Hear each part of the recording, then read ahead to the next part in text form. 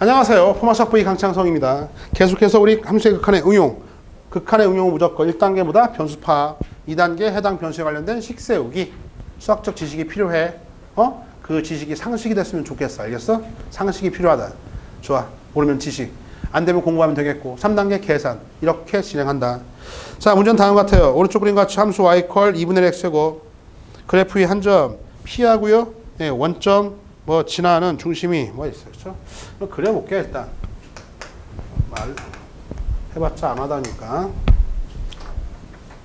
자, 어, 원을 먼저 그립시다. 그리고요. 다음에 어, 원위를 지나는 y 퀄 2분의 x제곱이요. 이쯤에 있고요. 샷 샷 이렇게 그렇죠? 또 올라가야 되겠나 그렇죠? Y 퀄 2분의 1 x제곱. 이 빨간색 2차 함수가 있고요. 노란색 원이 있습니다. 그렇죠? 자, 이때요. 어, 중심이 y축에 있는데 어, 한 점 P와 원점을 지나요. 그렇죠? 그러니까 지금 이 원은 어떤 원이냐면요. 여기 한 점 P를 지나고요. 다음에 어디로 지나요? 원점도 지나요. 그렇죠? 그리고 중심은요. Y축에 있는 원이니까 확정돼 있어요. 왜냐하면 원은 미지수 3개짜리 놀이거든. 근데 이게 동점이긴 하지만 정점 하나, 여기 하나, 그다음 당연히 여기도 하나 이렇게 세 군데가 잡혀 있기 때문에 확정돼 있습니다. 그렇죠? 자, 이 상태일 때. 자, 이때 어, 점 P가요. 점 P가 누굴 따라서 누굴 따라서 음, 그래프를 따라서 원점과 하나씩 다 쓰기를 이렇게 쓰는 거 limit. 점 P가 원점 5에 하나씩 다가갈 때도 써볼게. 이때 원의 중심 C가 하나 C에 C에 Y. 지금 문제가 물은 게 이거거든. 이거는 지금 어, 변수 변수 설정을 안 해놨어. 잘 봐. 지금 문제가 저런 상태고 P는요 여기 또 Y 컬 2분의 X를 따라 왔다 갔다 하는데 이 원은 원점과 이점과 중심이 Y축에 있는 노란색 원이 있어서 이때 P라고 하는 점이요 원점으로 하나씩 다가갑니다. 이렇게 다가가요. 그렇죠? 다가갈 때 이때 점 C 아, 점 C는 뭐예요? 이 원의 중심이죠. 원의 중심. 점 C에 점 C에 Y 좌표요. Y 좌표. Y 좌표 뭐라고 할까? 이대로 쓰면 안 되겠죠. 그렇죠? 이대로는 뭐점점 뭐 말 안 돼요. 그러니까 변수를 설정해야겠다. 설정. 그렇죠? 변수 파악인데 파악이 안 되니까 설정하자. 뭐가 변수야? P가 원점으로 갑니다. P의 X좌표 셈이 T라고 할게요. 그렇죠? Y좌표 뭡니까? 당연히 2분의 1 T 제곱 할 수 있겠죠? 됐죠? 이해 갔어요? 그 다음에 P가 5로 가고 있다는 얘기는요. 이건 이 말 어떻게 바꿔? limit. P가 5로 간다는 얘기는 이제는 변수 T가 어디야? T가 T가 0으로 가고 있다는 얘기죠. 그렇죠? T가 0으로 갑니다. C의 Y좌표 한글로 쓰기 그러니까 C의 좌표를요. 이거 항상 Y축에 있으니까 0,R이라고 할게. 반지름은 어차피 R이니까 알겠어요? 0,R이라고 하자. 따라서요. 이때 C의 좌표 R이 어디로 가는가? 이거야. 이거 알겠죠? 그러니까 이거를 문제에서 줄 수도 있지만 안 주고 이렇게 블라블라 말로 떠줄 수도 있다고. 그냥 설정할 수 있잖아. 그 차이입니다. 자, 일단 식세웠고 변수는 t예요. 얘가 변수야. 2단계 여기 있는 거를요. 누구에 관한 식으로? T에 관한 식으로 이 r을 저 c의 중심에 저 원의 중심에 y좌표 r을 t에 관한 식으로 표현하는 게 우리가 해야 할 일이다. 그렇지? 그러니까 t하고 r의 관계식 하나만 있으면 이 문제 끝난 거예요. 그렇죠? 관계식. 근데 원은 뭐예요? 원은 떠들어. 원은 중심과 반지름. 원은 항상 중심과 반지름. 그래요? 아 이게 r이잖아요. 이게 뭘까 이게? 얘도 반지름 r이겠지. 그치? 됐어요? 따라서 두 점 사이의 거리가 뭐랑 같다고요? r과 같다고. 그러면 t와 r의 관계식 하나 나오지. 나오면 끝났지. 왜? r을 t로 표현할 수 있게 된 거니까. 아, 어려워요. 안 어렵다. 알겠죠? 차분차분 생각해봐. 따라서 중심과 반지름 요 거리. 자, PC 저 두 점 사이 거리는 어떻게 가? 루트에 t 빼기 0의 제곱 t제곱 다음에 더하기 2분의 1 t제곱 마이너스 r의 완전 제곱 그쵸? 액투마 액원의 완제 와투마 와완의 완제 이게 두 점 사이 거리잖아 그쵸? 그 거리가 뭐랑 같다고요? 반지름 r과 같다고 됐어요? 이제 우리의 목적은 이제 r을 t로만 표현하면 되는 건데 관계식 있으니까 잘 정리해서 r을 t로 표현해 볼게 갈까? 양면 제곱합니다 t제곱 더하기 얼마입니까? 4분의 1 t 4승 다음에 마이너스 2배 앞뒤 컷 하면은요 네. t제곱 r 다음에 더하기 r제곱이 r제곱 이렇게 그렇죠? 이건 지금 루트 날린 다음에 t제곱 이거 이거 제곱한 거야 제곱해줘 응아 제곱해줘 2배 앞뒤컷 t제곱 응아 플러스 r제곱. 이것이 r제곱. 됐어요? 양면 제곱했다. r 잘 날라가죠. 우리의 목적은요. r을 t로 표현한 거니까 이쪽 넘기면 어떻게 따라서 t제곱 r은요. t 4분의 t 4승 더하기 t제곱 되겠고 따라서 r은요. r은 t제곱 나눠주면요. 4분의 t제곱 플러스 1이요. 됐네요. 그쵸? 저 r 자리에다 뭘 집어넣어? 4분의 t제곱 플러스 1을 괄호에서 넣어주시라고. 여기다가 4분의 t제곱 플러스 1을요. 넣어주고요. 3단계 계산 t가 0으로 갑니다. 0 더하기 얼마입니까? 1로 다가가네요. 알겠죠? 됐어요? 그 값이 얼마다? 1이 정답. 중하신 문제. 쉽죠? 쉽잖아요. 어려워요? 어, 어려우면 일단 다시 극한 응용 이론 다시 보고 어? 1단계 변수 파악인데 일단 문제에서는 블라블라 이렇게 말로 묻고 있어요. 말로 묻는 건 우리가 접근이 안 되니까 변수 파악 잘 하시고 이걸 T로 하든 A로 하든 K로 하든 뭐 뭐 뭐 뭐 알파로 하든 늘 마음대로 해. 근데 중요한 건 여기까지는 와야 돼. 알겠냐?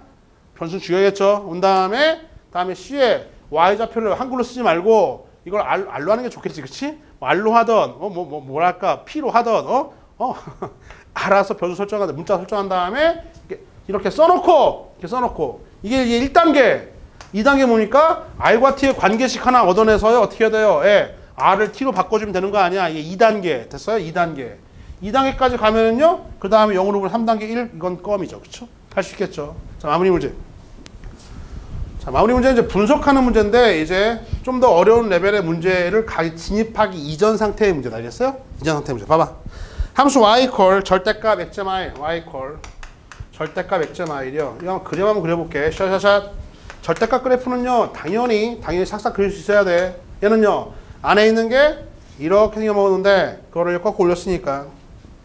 자 저기 있던 절대값 그래프가요 어떻게 해요? 이렇게 이렇게 이렇게. 이게 이거야. 이게 y 콜 절대값 x제곱 마이너스. 여긴 당연히 절대값 여기가 1이고요. 여기가 마이너스예요. 1. 이 정도는 금방 그릴 수 있어야겠다 알겠어요? 금방 그릴 수 있어야 돼요 자 이 상태에서 노란색 그래프가 직선 y 콜 t와 만나는 점의 개수가 ft예요 그렇죠? 자 직선 y 콜 t요? y 콜 t 와 t와 얘랑 얘랑 얘랑이 만나는 점의 개수요 이게 ft래 그러니까 일단 ft 값은요 ft 값은 어떻게 나올까요? 만나는 점의 개수니까 항상 얘는요 0 이상의 정수 다시 말하면요 음이 아닌 정수 값으로 나오겠죠 그렇죠? 그죠? 그래서 한번 생각해 보자. y 꼴 t니까요. t가 음수일 땐요. ft 거 ft요. t가 음수면요. 이거 어떻게 해? t는 y는 마이너스 이거 뭐야? 이런 상수함수 만나 안 만나? 안 만나지. 안 만나지. 그러니까 t가 음수일 때는 안 만나요. 그렇죠? 따라서 ft를 굳이 써주자면은요. ft는 0개예요. 0개. 언제요? t가 0보다 작을 땐 0개다. 0개. 그렇죠? 그죠? t가 얼마가 돼야죠? 이 t가 0이 돼야지만이 x축 돼서 처음으로 몇, 몇 개 만나? 눈으로 보이지 몇 개 만나? 한 점, 두 점. 몇 점? 두 점. 따라서요. 만나는 줄 두 개. 언제? t가 0일 땐 두 개. 그쵸? 변수는 t야 지금. 자, t가 좀 더 커지면 어떻게 해요? 몇 개? 하나, 둘, 셋, 네 개 만나죠. 그쵸? 언제까지요? 언제까지 네개 만나지? t가 얼마일 때까지? 1일 때까지. 그쵸? 따라서 t가 0하고 1 사일 때까지는요 몇 개요? 4개를 만나고요 t가 1일 때는요 몇 개요? t가 1이면 몇 개? 하나 둘, 세 개 그쵸? 세 개 돼요 그쵸? t가 1보다 커지면은요 1보다 커지면 이제 어떻게 돼? 몇 개의 점? 당연히 두 점밖에 안 만나죠 그쵸? 아무리 올라가도 속에 이게 뭐야? ft의 그래프야 y equal ft라는 함수 알겠어? 함수야 물론 이 상태로 문제 풀 수도 있지만은요 어, 좀 더 문제가 어려지만 그래프도 그려야 돼서 그래프 한번 잠깐 그려볼게 그래프 여기다 그릴까? 여기다 그릴게. 아, 지저분하네. 그쵸? 자자자. 아, t 0 마이너스 t. t축. 야, 마이너스 1 보여요? 다음에 1 이게 이렇게 했네. 그쵸? 자, t가 마이너스 1보다 t가 0보다 아, 0일 때네요. 0하고 1일 때밖에 없나요? 0일 때네. 아, 좋아. t가 0보다 작을 때요. 일단 0을 따라갑니다. 그래프가요. 샤샤샷 이렇게 0을 따라가. 슛 0을 따라와요. 0을. 0을. 빵꾸뻥. 0일 때는요. 2를 따라. 0일 때는요. 1, 2. 2예요. 2. 2. 다음에요. 0과 1 사이에서는요. 4를 따라가. 3, 4. 빵꾸뻥 4. 빵꾸뻥 이렇게 그쵸? 4. 1일 때는요. 1일 때는요. 3을 따라가. 3 중간에 3이 있고요. 다음에요. 1보다 클 때는 2를 따라하니까 빵꾸뻥에서 이렇게 나가요. 그쵸? 요 노란색 그래프가 y equal ft의 그래프예요. 알겠죠? 됐죠? 자, 문제는 요구했던 게 뭘 물었냐면 이제 limit limit t가 0에 우극한이 ft limit limit t가 0에 우극한 ft 이 값하고요. limit t가 1에 1에 우극한 ft요. 요거 알파 베타 구해보래요. 야 이거 눈 있죠? 눈 달렸죠? 극한 보는 눈만 있으면 돼. t가 0의 오른쪽에 서 0의 오른쪽에 이렇게 다가가요. 어디로 가고 있어요? 4를 콱 찌르고 있죠. 그렇죠? 이 값은 얼마다? 4로 다가갑니다. 알겠어요? 얘가 적극한가?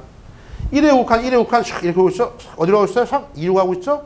이 값은 2로 다가가요. 그렇죠? 됐습니까? 따라서 4 더하기 2가 아니라 이게 알파 베타인데 나누래요. 얼마입니까? 아, 2분의 3 얼마입니까? 2가 정답이 되겠습니다. 답은 몇 번? 2번. 됐어요? 그러니까 이 문제는 우리가 킬러 문제로 가기 위해서 그 전 단계에 반드시 이해해야 할 내용 봐요. 봐. 주어진 함수 절대값 함수 그리는 건 껌이죠. 그쵸? y 콜 x제곱 마이너스 1 그린 다음에 꺾고 올려주면 돼. 응? 그려놓고 그려놓고 y 콜 t라고 하는 어떤 이거 직선이건 뭐 이게 1차 함수건 지금 상수 함수건 얘를 오르락 내리락 하면서 이 두 개가 만나는 교점의 개수가 새롭게 ft로 정의된 거야. 교점의 개수.